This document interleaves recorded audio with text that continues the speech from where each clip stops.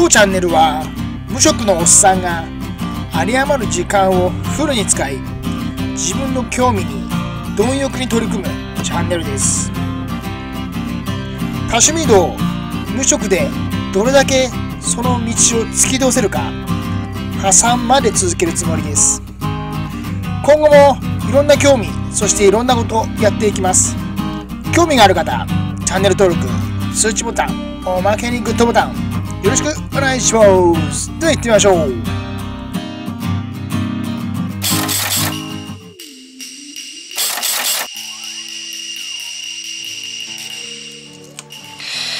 えー、ということでちょっとはね今日はまあ依頼なんですけど実はここの現時点俺の手元に来た時依頼のその症状が発生しておりません。えっ、ー、とこれは NH35 かな？NH35 要は張り飛びの症状なんです。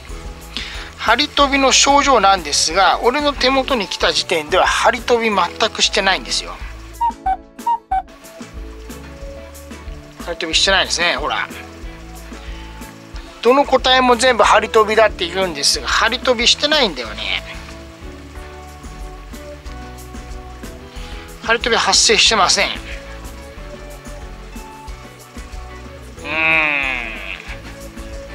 うん。何なんだろう。まあねこのまま返すしかないんですけど症状が現れませんから。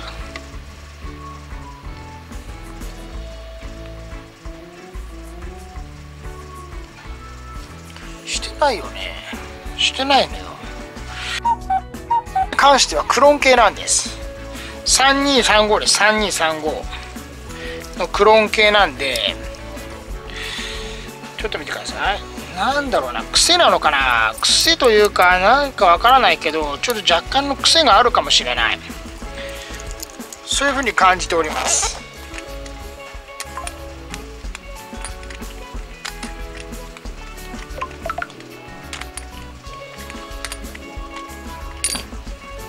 ほらクローン系なんだよね。クローン3235です。でこちらも同じなんですよ。で全く同じムーブメント。で張り飛びが発生したということでどうにかなりませんかというところで俺に来ましたがここの現時点で俺の手元に来た時点ではもう張り飛びなんか発生してないんですよ。だからこの症状分かりません。全くもって分からない。たまにねなんかあるんだよな。何なんだろう。まあ、だから症状的には多分ね現れるんだと思います。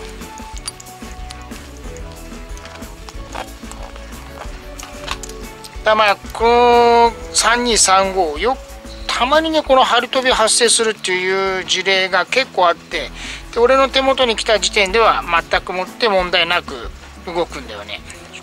でねこの方とこの方は一緒。この方はまた別の依頼者さんなんですよ。同じねムーブメント3235なんでそういった癖というかなんかあるのかもしれないね、うん、だから俺の現時点でここに来た時点では全然もう症状は発生しないのでこのまま返すしかないんです。これはね NH35 あのあれだね。あの NH35 じゃない。なんだっけ。38A だって。NH38A これ、うん。オープンハートになってるやつなんでこれねモッドなんかこれはモッドだから成功モッドですからモッドではねこのガラスレンズに当たる時ってたまにあるんですよ。このねクリアランスがなくて。これに関して多分それが発生してたんじゃないかなと思うけど今現時点で見る限りではその発生もない。ってことはこのパイプかな。秒針のパイプのかしめが弱くなっててね輸送中にちょっとこう動いて良くなったのかもしれないし。これね本当にね分かんないんだよね。これねだから意外とあるのかもしれない。現に発生してるんでしょう。ただ現時点で俺のところに手元に来た時点で発生してないから何かやっぱりあるんでしょうね。あるんだと思います。特にこのクローン系にはね結構気をつけた方がいいかもしれないですね。クローン3235には気をつけた方がいいかもしれない、まあ、張り飛びが発生したって張り飛びって結構ね秒針飛びか。秒針飛び。張り飛びというか秒飛びだね。まあ分からなくて症状も出てないし原因がいまいち特定できないんだよね。この秒針のこのパイプのかしめが弱くなってるっていう場合もありますしそれじゃない場合もあります。それがどこか分からないから全然分かんない俺。俺には分かんない。うん。そのねまあプロは対処の仕方があるんでしょうけど俺にはこのね原因が分かんないから何が原因なんだろう。分かんねえよな。うん。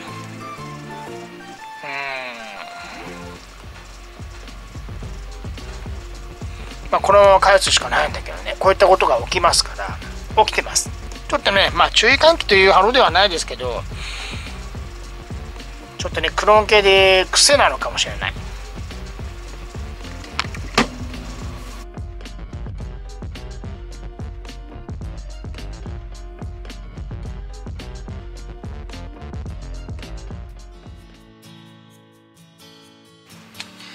ということでね、とね、クローン3235の2本でしょ。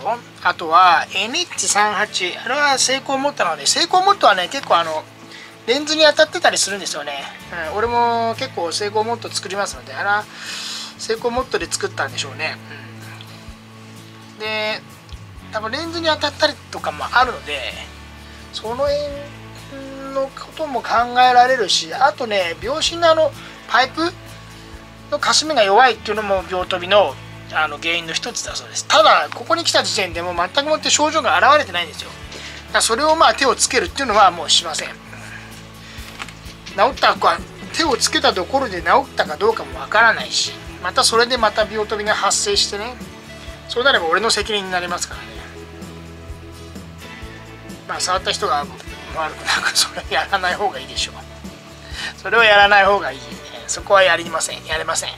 ていうかやれない、え。見えないんだもん。それ見えないものをやってもしょうがないですから。ただいかんせんねこれ依頼者さんは別々なんですよ。同じ症状です。この特に3235ですね。特に3235の方ですね。クローン系の方。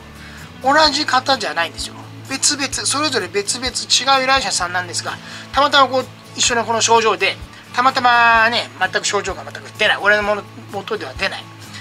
だからこれが帰った時ですね以前もあったんですよこれ。前もあったんですよね。クローン系で。飛ぶっていうので。で手元に来た時全く症状が出てなくて。で手元を離れてまた、うん、まあ治ったねっていう話をしたんだけどまた発生した時もあるというようなことも言ってましたから何か多分これあるんでしょうね。このクローン系の3235何かあると思うよ。どっかなんかあるのかもしれない。わからない。原因がわからない、うん、まあそのね3235ですからその輪列のなんていうのかなあの仕組みっていうかをみこうイメージして4番車でしょ？4番車がただそのね軸が弱いのかはたまたそのその4番車から出てるこの秒針をついてるこのパイプだよねこのパイプ。このパイプがかしめ弱いのかっていうことのどちらかだと思うんですよ。別にそれのどちらかだと思うんです、うん、そんな感じじゃないかなとは思うけど今現時点で発生しないってことはそれはまあ動くことによってまあ閉まっていくのかこうね止まっていく箇所がこうきついところで動いていたのかこれをまた逆にしたりして逆に戻したりすると発生するのかもしれない、うん、これは分かんない。それは本当に分からないです。症状が見えてないから全く分かんないですけどね。ただでも同じ依頼者さんじゃないので全く別の人なので多分こういったのが多分あるんでしょう。何かしらあるんでしょうね、うん、まあたまたまかもしれない たまたまかもしれない。分かんないけどね、うん、分かんないですけどね。まあこういうのあるんですね。クローン系だからうん。ね。まあ症状が現れればねなんとかできるでしょうけど。なんか針とかその針の軸秒針軸な感じもするんだよね。ただ今現時点で発生しないから何ともしようがないんだよね。何ともしようがない、うん、かしめが強いところにたまたま軸が、ね、2つとも当たってまあそんな感じだと思うんだよね。うん。ぴょんぴょんぴょんってね飛んでたじゃないですか。最初の見ましたよね。最初の一番最初のオープニング見てください。あの症状ですから。確実に飛んでんですよ。飛んだ時にまたねかしめのとこにきちんと入ったのか分かんない。分かんないです。たまにありますからこういったこともね対処のしようがありませんだからこのまま手は出さずにお返しするっていう風なのがいいからね。絶対その方がいいよ。症状が分かれば出ればまたどうにかしようとは思うんですけど症状が出ないからね全く分からんですからね。一旦お返ししましょう。ということでこういった日々の作業はインスタ、ツイッターそちらによくアップしております。そちらのフォローもぜひよろしくお願いします。ご視聴ありがとうございました。いやーわからんもんだね。